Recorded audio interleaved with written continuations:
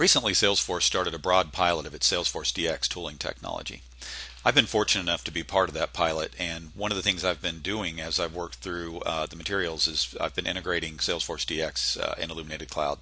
Uh, the goal is a very, very tight integration. Um, as uh, normal, um, I kind of work through these things uh, in phases and release each phase as I, as I think it gets to a point where I think people would find it useful. Um, and so one of the things I'd like to do is show um, some of the workflows that are enabled by the first set of enhancements I've made to Illuminated Cloud for Salesforce DX. I think a, a good place to start would be to show um, how you configure Illuminated Cloud to uh, to actually be able to talk to Salesforce DX tooling. So I've brought up the standard um, global configuration for Illuminated Cloud, and you can see that there's a new field, and all all you need to do is um, have installed the Salesforce DX executable. And by the way, I've provided a convenient uh, link that'll take you to the platform specific uh, distribution of that. Of course, you do need to be in the pilot right now to be able to actually use it. Uh, and then once installed, uh, all you need to do is uh, is browse to the actual um, primary executable for it and just register it with Illuminated Cloud. And so um, let's go ahead and see what it means to create a new project. Um, one of the things that's important here is that uh, a big paradigm shift with uh, with with Salesforce DX is that your org is no longer the uh, main repository for your for your metadata. Um, it is um, it is intended to be a workspace, and uh, your version control system is intended to be the single source of truth for your for your metadata. Um, it's a major change from the way that things have worked in the past. Um, and so, what we're going to do is create a new project um, based upon uh, some metadata that's actually out in Git. Uh, this happens to be one of the onboarding test projects for the Salesforce DX um, initial documentation. So, right now, this is being pulled down from Git. You can see that the IDE is prompting to create a project off of it, and you can see that Illuminated Cloud has realized that there are no Illuminated Cloud project files. This was just pulled raw out of uh, out of GitHub. So what it wants to do is, is uh, set this project up to be used with Illuminated Cloud. So the first thing it wants to do is is um, associate a connection, an org, effectively with this metadata. And so we'll just uh, drop down here and look at some of the connections. And one thing you'll notice is some of these connections have a DX icon beside them. Uh, those are not connections that have been explicitly configured within Illuminated Cloud. Uh, those were found by um, Illuminated Cloud speaking to the Salesforce DX tooling and seeing the the uh, the hub org and the scratch orgs that have been created and things like that, and getting enough information to be able to connect to those from um, Salesforce DX tooling. And so I'm going to choose this scratch org and um, go ahead and say OK. And now what uh, it's going to do is convert the project to be an Illuminated Cloud project. It's going to come back up and it's saying there's a few other things we need to do. And the next thing that it shows is uh, perhaps one of uh, the most uh, compelling new features or, or, exciting new features of Salesforce DX, and that is a huge level of flexibility in the way that you can organize your projects in the local file system.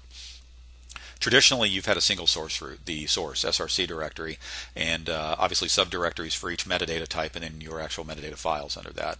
Um, now there's actually a workspace file. It's a JSON file that allows you to, uh, specify multiple project roots. And within each one of those, uh, you can actually have distinct source roots, for example, for product code versus test codes, like your Apex test classes. So um, uh, Illuminated Cloud uh, automatically looks at that workspace configuration and figures out what the project structure should look like. And so we'll accept that. And now what it's going to do is um, use the the connection that it found by talking to Salesforce DX, and it's going to go connect to it using OAuth. And if it has to refresh the uh, OAuth access token, it will. It's also going to look for the uh, the metadata in the local file system and figure out if it should update the subscription, which it's just done. And so now it's generating the offline symbol table in the background, which will give us completion, integrated API documentation, and all that. And uh, when this gets done, we'll actually have a usable project. So in just a moment, uh, this will finish, and we'll uh, navigate around, take a look at how this works, and uh, also take a look at the relationship between Illuminated Cloud's tooling, so how it does uh, deployment and retrieval and uh, unit testing and code coverage and things like that. And I'll talk about the relationship now and in the future with the Salesforce DX CLI tooling. So um, it's finished uh, generating the offline symbol table.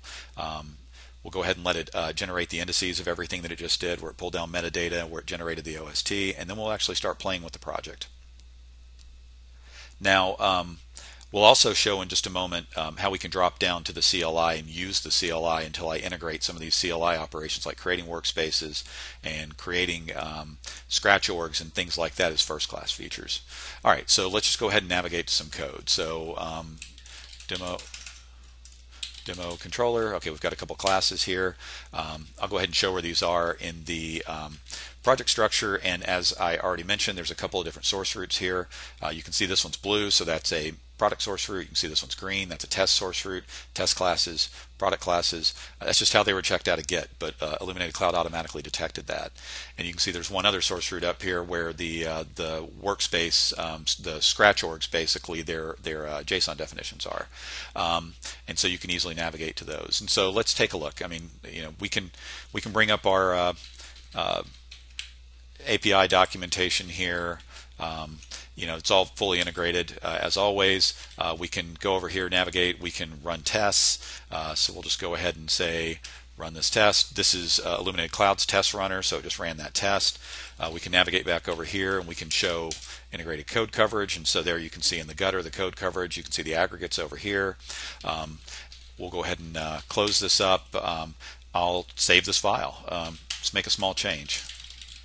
So I'll go ahead and save this file, and you can see down here that it's deploying and it deployed in about 1.2 seconds, um, and that is Illuminated Cloud's uh, tooling API deployer. So that's not using the CLI to do that.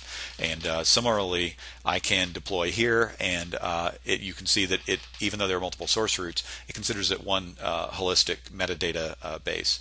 And so uh, we can go and deploy everything in the project in this case. So it's going to deploy this um, using the uh, metadata API because it's also deploying, um, actually use the tooling API because it's deploying Apex and Visualforce, uh, which are, can be handled by a metadata container. So that all deployed. Uh, you know, the tool windows all work as you'd expect. So you can see up here it's using the um, DX uh, connection, and we'll just say, uh, you know, user info get organization name, print that out, show it. That all works fine. We'll bring up a SOQL query window run a SOQL query. So we'll say select star and we'll say from account. And um, we ought to be able to, in just a moment, see all the accounts that have been loaded into the Scratch org. And uh, we can take a look at the, uh, the logs that are in the system. Um, we can bring up uh, you know any of the logs. So everything works as you would expect. And again, you can in each case you can see that this is our DX Scratch org. Um, and so um, you can also drop down and, and play with the um, DXCLI using the integrated terminal emulator of, of, of IntelliJ IDEA. So I have it configured here to use um, to use Cygwin Bash. Obviously, if you're on a, a Mac or if you're on a Linux system, uh, you know you can you can use the native shells there, and, and by default uh, on Windows, it's going to use command.exe. I just prefer to use this. So it started me in the project directory, and I can say sfdx uh, force org list, and it'll give me a list of orgs um, let's go ahead and move this up a little bit. And um, then I can do sfdx uh, force org describe uh, let's see slash dash u um, sfdx1 and uh, we can take a look here at uh, the information about this. This is by the way how um, how it's actually connecting um, to the orgs. This is how it's sourcing its connections and connecting. And if we want we can do sfdx um, force source push dash uh, u sfdx1. I think this will actually show conflicts because I just deployed from within the IDE. So the um, the status information here is stale relative to what I just did in the IDE. So let's take a look. It's going to go do a source push and it will probably come back with a series of conflicts. And it did. So that's great.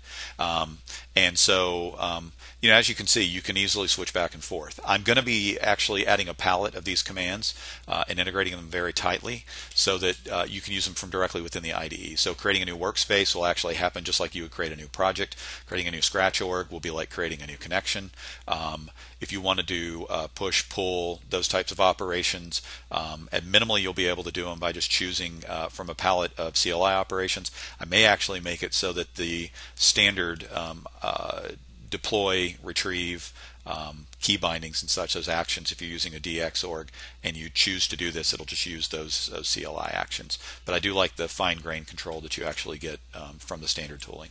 Anyway, uh, hopefully that gives you an idea of uh, what's there to start and um, and an idea of where I'm planning on taking it. Um, so keep an eye out for future builds, but uh, this will be available uh, I, hopefully uh, Monday or Tuesday of this week for you to play with. Start giving feedback. Uh, thanks a lot.